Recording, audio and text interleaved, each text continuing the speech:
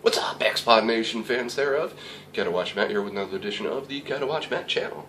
Now, this is going to be the morning after the coup d'etat announcement for Thailand. And uh, what I'm going to do is go outside, just take some video of me walking to the store because I gotta get a few things.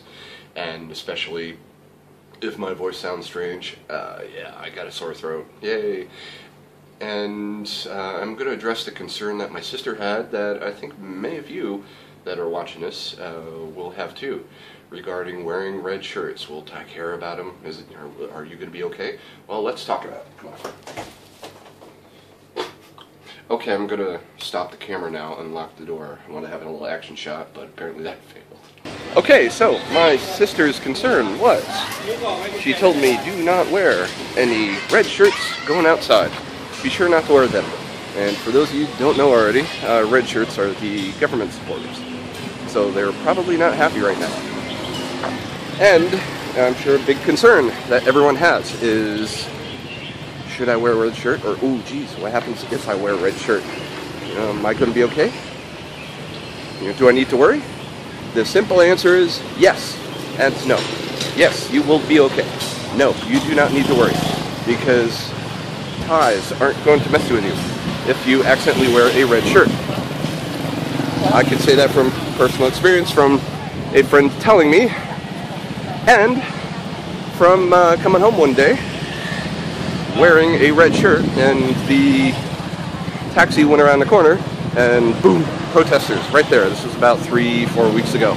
It's like, oh geez, great timing, have a red shirt on. Hmm. And so I just basically, I walked through the protest, I was just smiling and, wow, Jake, so almost twisted my ankle there. I was smiling and giving everyone a thumbs up. Uh, and everyone was smiling back, just give me a thumbs up too. And, and I don't want to die. And yeah, uh, I do have smiles for everything, whether they're happy, sad, you know, pissed off, and everyone just had genuine hello, how are you smiles. So you really don't need to be worried about being messed with. Even though if I was going to be messed with, it does help being the size of Godzilla.